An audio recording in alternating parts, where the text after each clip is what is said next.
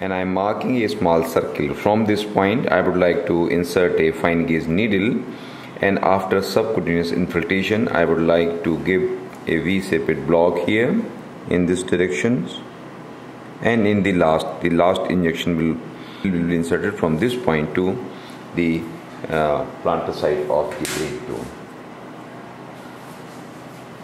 एक सुई लग रही बेटा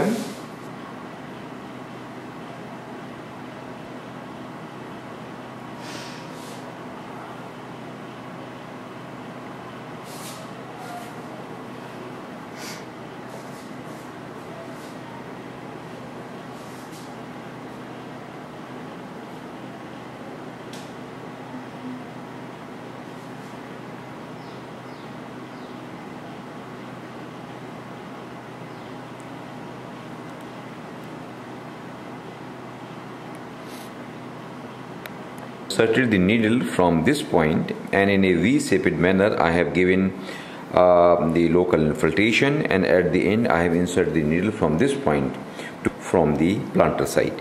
Now since this is the inflamed bed nail bed so most of the time what happens there remains some discomfort to the patient so that's why from this point I have inserted the needle and given 0.5 ml of local anesthetic solution at the uh, base of the nail bed on the medial side. So this completes the great toe block uh, even in inflamed condition of the toe. Now I am applying a tourniquet. So I have taken a finger stall and I will just use this stall to make the feel make the field bloodless just make a little cut and rotate it. This will squeeze out the blood. At the same time this will also act as a a tourniquet. Great toe tourniquet see? Just roll this at the base of towards the base of the great toe now so this is the tourniquet which I have used in this patient. Now I will insert carefully the hour on this area. Just stabilize the this part of the nail. Insert the small hover towards the base of nail bed. Take a fine scissor. From the same point insert the fine scissor.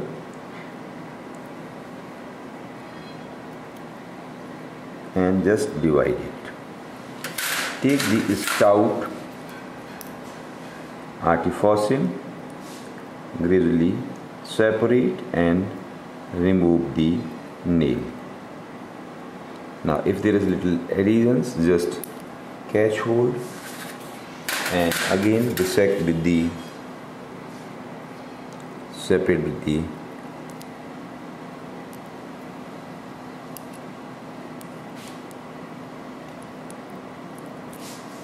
so I have removed the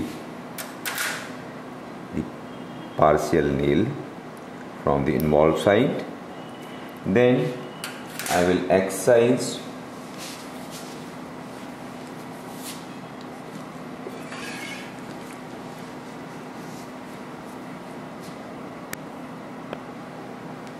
just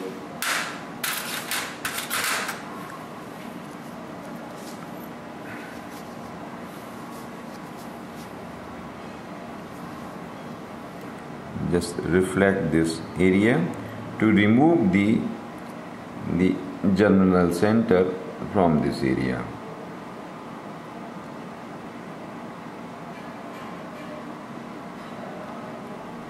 The germinal center on the medial side of the nail bed. Here I have excised it from this side so whatever the remaining cells are here, they can be damaged by the phenolization. they can be damaged by the phenolization. So I have removed this area see? This is the area I have removed from this area. All the area with the help of ointment.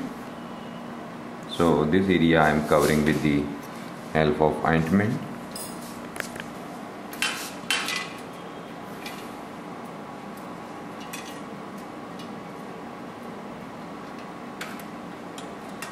this area should be phenolized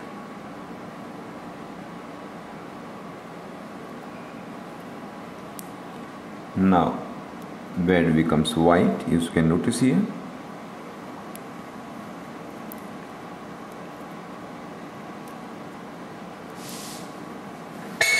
Now see the difference here? This becomes white now whatever the remaining germinal cells on the medial side of the nail beds are there they are really destroyed with the help of phenol. Now this can be neutralized with the help of spirit spirit now I have taken the spirit just to neutralize it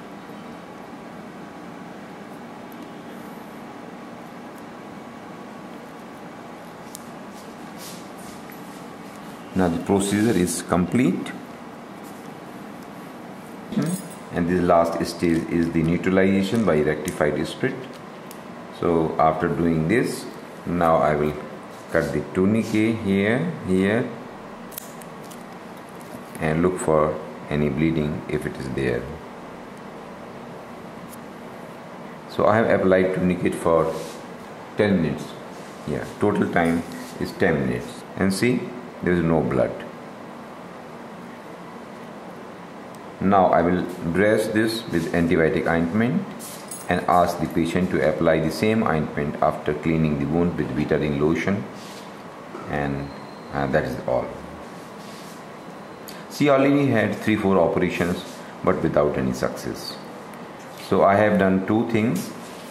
One is the excision of the part of the nail and excision of the germinal center from the same side and then I use the phenolization to make the procedure near total uh, success. Ointment here.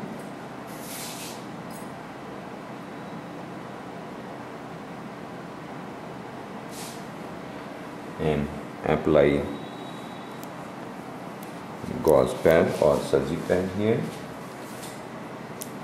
And don't apply tight bandage it is just a gentle pressure is needed. So that is all